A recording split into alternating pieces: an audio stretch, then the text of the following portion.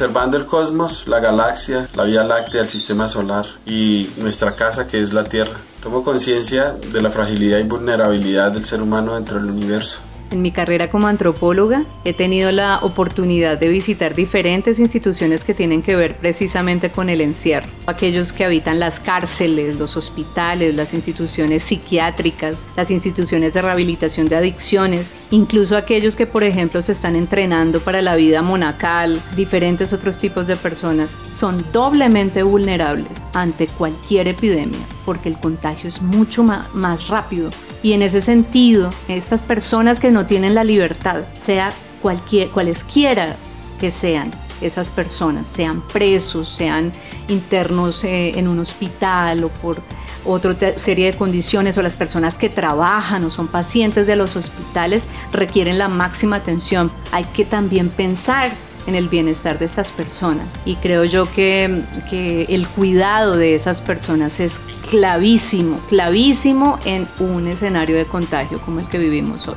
Las pandemias y las epidemias y las enfermedades pueden atacarnos a todos, pero no nos atacan a todos por igual. Podemos recuperarnos o morir, pero no todos mueren por igual y no todos se recuperan por igual. Si bien es cierto, hay una pretensión universal de ser afectado en una pandemia, la vulnerabilidad no es la misma. Y no hablo solamente de la capacidad genética de responder frente a una infección o de la capacidad tecnológica que disponga un país. Hablo de la distribución de ese acceso a la salud. Hablo de la capacidad de tener un sistema nutritivo adecuado. Hablo de la capacidad de comprar alimentos o de pagar por los servicios de salud. Eso nos hace terriblemente diferentes. No hay expulsión de alumnos del salón porque ellos están en la casa. No hay que llamarles al papá al colegio para ponerle la queja para hacerle la observación porque el papá está acompañando su proceso desde el hogar.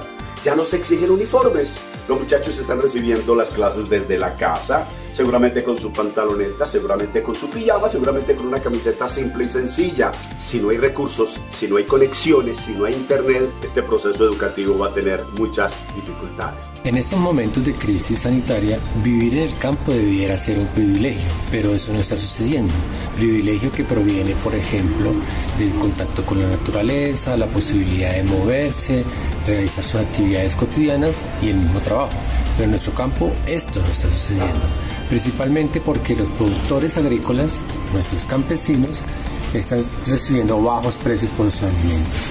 Igualmente están siendo víctimas de muchísima violencia que está aumentando en diferentes regiones del país, principalmente sobre los líderes campesinos. La pandemia ha traído miedo e incertidumbre desde donde hemos podido proyectar dos mundos. Y eso me lleva a pensar en que también hemos revelado algunos aspectos que nos hacen iguales, pero también otros que nos diferencian. Entre esos que nos hacen iguales está la fragilidad y la vulnerabilidad que tenemos como seres humanos. El miedo nos llena de angustia frente a lo que podemos vivir hoy y lo que podríamos vivir mañana, pero esa angustia no se vive igual y no se vive igual cuando es posible hablar desde la comodidad de una casa, desde la tranquilidad de recibir un salario por más pequeño que éste sea, a cuando todo eso no está y cuando estamos expuestos o más bien a la expectativa de tener un subsidio del Estado o de ser beneficiarios de la donación o de la solidaridad de un buen vecino. En eso nos parecemos pero también nos distanciamos. Yo creo que a todos los seres humanos nos ha tocado esta pandemia. Nos ha demostrado que somos vulnerables, todos en nuestra medida.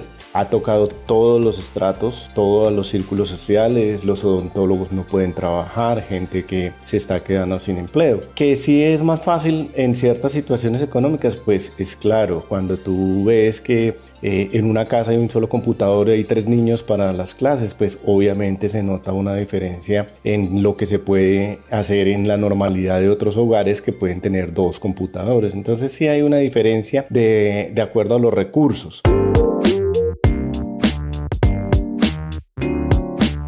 Nuestro aprendizaje observamos que esta situación debe ser mitigada a través de la solidaridad, de un cambio real en el consumo de bienes, de materiales de la naturaleza, de la depredación de la naturaleza. Y valorar un poco más las expresiones de afecto y, el amor y todos esos lazos familiares que que tenemos y muchas veces no valoramos. La conclusión es que actúa como un espejo y nos muestra de nuevo nuestra falta de solidaridad, nuestra desigualdad y nuestra iniquidad. Frente a eso, la única manera es un desarrollo mucho más humano. No hablemos de seguridad en términos militares, sino de seguridad humana. Recuperemos el concepto de derechos humanos, de ciudadanía universal y sobre todo de igualdad ante las oportunidades reales de la vida y no solamente ante el papel en la ley. Como sociedad debemos motivar los mecanismos de solidaridad hacia la población campesina. Esto reconociendo que los saberes y prácticas de su vida en el mundo rural nos aportan bastante para este tipo de situaciones. Pero sobre todo reconocer que la producción de alimentos tiene un valor importante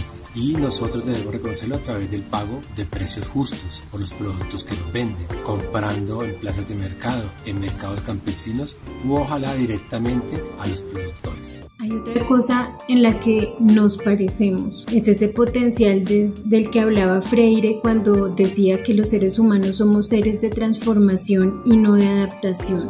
No es posible que los seres humanos nos adaptemos a este estilo de vida y seguramente y, al dolor y a la desesperación.